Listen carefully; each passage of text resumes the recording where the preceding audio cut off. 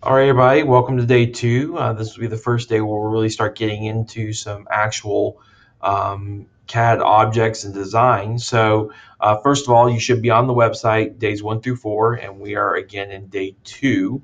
So, um, you should see that we have the day two document here. We have a couple documents associated with that. You'll need to take the day two quiz. So, uh, this video I'm going to try to keep short and to the point. Um, there will actually be two of them, one for the first part of the document, one for the second part of the document. Um, I will only cover the basics of creating things and doing things. I'm not going to go into detail of everything the document says. So this is a supplement to the document. Make sure you read the document. Um, otherwise, you will not do as well on the quiz because a lot of the content comes from the document. So with that being said, uh, one of the first things that it's going to ask you to do is pull up this college casting fixture. And there's a link right here. If you click on it, it will pull the document up. Looks like this. And a couple of things that we wanted to talk about is over here on the left, you have your features. And those are just things that are that make up the object you see here in the screen. You have parts down here in the bottom left. You can we'll learn more about parts later on and then you have your view cube up in the top right, and then you have your graphic design area where you actually see your object uh, designed out in three dimensions. Now, with this, you have the view cube up in the top right hand corner, and that combined with this viewing area allows you to see a lot of different things um, about the object. So let's go ahead and get started with playing with the cube. You'll notice that you can click on any of the sides or the corners to change the view. So right now, I'm going to go ahead and click on top, and you'll see that rotates it so that I get more of a two-dimensional relief of what the top of this would look like. If I want to go to a three-dimensional um, spot, I can click on this corner here, and it takes me back there.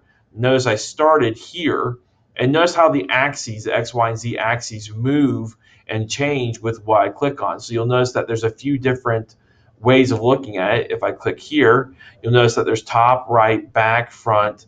Um, these are just different ways of viewing the object. If you click on any side, then it's going to be a complete side view. It's going to be flatter, more two-dimensional. Whereas if you click on corners, it's going to give you more of that three-dimensional look. So you also have the ability to rotate here and here, um, up and down. You can also rotate and pitch the object that way as well. You do have some other view options. Isometric refers to an axonometric uh, view, which basically means that if I click on isometric, all three of the axes are exactly the same in terms of proportion.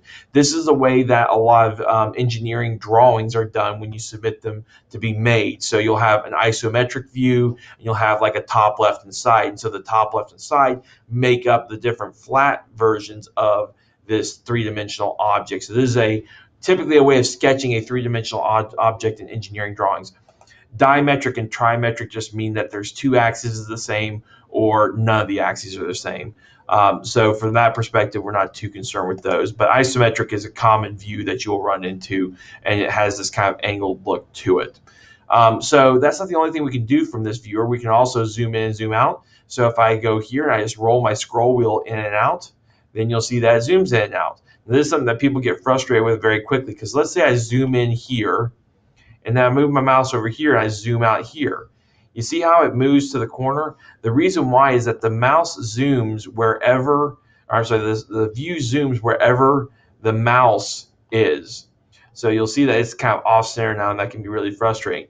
Really quick and easy way to do that is to pan to move it back. So I'm going to hold down Control and right click and drag, and that will move my object back into the center of the screen where I want it to be. Now, You'll notice I'm talking all about these mouse commands. There are touchpad commands, but for this class, you must have a mouse. It's um, pretty much a given that if you don't, you'll make your life very difficult. So make sure you get a wireless mouse or you know a wired mouse for that matter. It doesn't really matter. Just make sure you have a, a, a mouse. It can be a cheap mouse. It doesn't have to be special or, or anything like that. But you want a mouse um, for this class. So again, zoom in, zoom out. We'll zoom in and zoom out at the space that my mouse is in. So if I move my mouse over here, it's going to zoom in way over here. The reason why is that that allows me to very precisely pinpoint if I want to look at that hole, then I can zoom into that hole very easily and zoom back out. So that's the whole purpose behind that. Again, I could pan this image back out by holding down control, right click, and drag. So um, there's a whole list of the shortcut keys, by the way, under quick references. And if you go there, then you'll be able to see all the shortcut keys and all the different shortcuts for mouse viewing and some of the different view tools that you can see as well.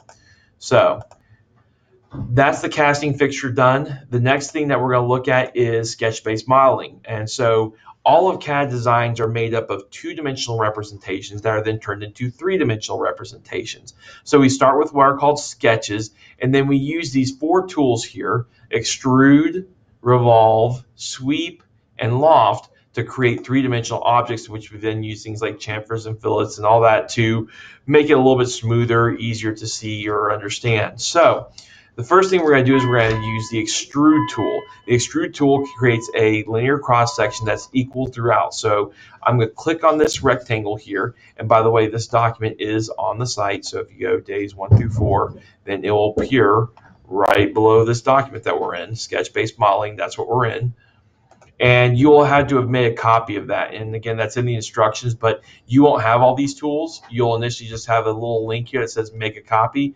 Once you click on that, you'll make the copy, name it day four dash, and then your last name, and then you'll be ready to go. So now that we're here, I'm going to click on this rectangle and I'm going to go ahead and click extrude it's going to say I'm just going to do an extrusion of one inch. You'll notice it now has three dimensions. You'll notice the arrow pointing up represents the direction of the extrude.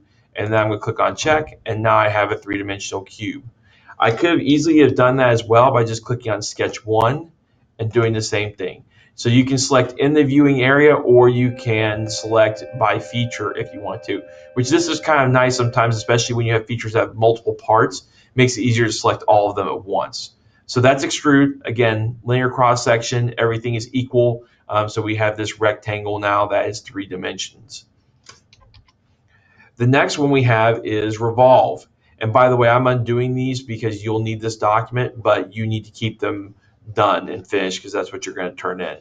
So now revolve is going to make that same cross section, that, that three dimensional cross section, but instead of just making it in a random direction, it's going to actually make it around something, so around an axis. So if you think of something like a tire, a tire is circular and it's been revolved around a center point in the middle of the tire. Um, so the same thing is true of the revolve tool. So we're going to click on sketch one here, and we're going to click on revolve. And then this is where some people run into issue. They say, well, it didn't revolve. Well, that's right, because we didn't actually tell it what axis to revolve around we want to revolve around this back line here. So what I'm going to do is I'm going to click on the red revolve axis, and then I'm going to click on the line I want to revolve around, which is this one.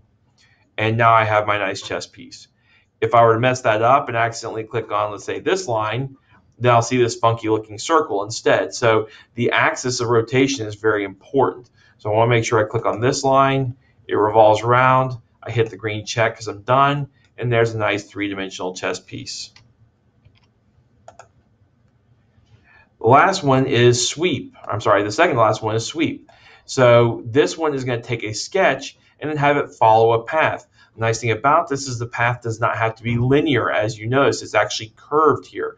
Uh, paths are just line segments that can have a straight or a curved path, um, and it will just take the sketch and then make it follow that path. So instead of in our example with the cube where it just went straight up, now it's going to follow this S curve. So we're going to click on sketch one, which is that sketch. And then we're going to click on sweep. And then where it says sweep path, just like we had revolve axis, I'm going to click on that. And I'm going to click on sketch two. Now, if I don't do that, and let's say I just click here, then you'll notice it only sweeps part of it, and then I'll have to click on the rest of it to make it finish. That's why sometimes it's nice just to click on sketch two instead, and it does it all at once. So once I'm done, I click on check and it's good to go. Now, if I messed up or something and I didn't click the right one, maybe I did sketch two and I did sweep and something didn't come up right and you know I'm here and this doesn't it's not working properly I have errors. I can always just click on the red X and get rid of it and then start fresh again.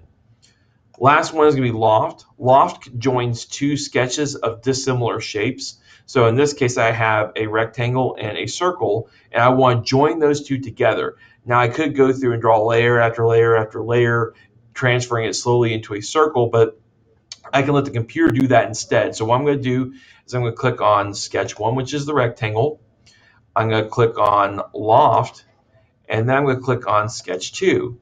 And what it does is it creates this unique shape that has a square at the bottom and a circle at the top. And you'll notice it just tapers the edges in until it joins with the circle. Now, another way I could have done that is clicked on Sketch 1, then Sketch 2, and chosen Loft, and it would have done the same thing. So either way works. There's not a right or wrong way. Um, you just have to include all the components in order for the loft to occur. So that's all for this segment. The next segment we'll talk about creating your own sketch and then working with these tools.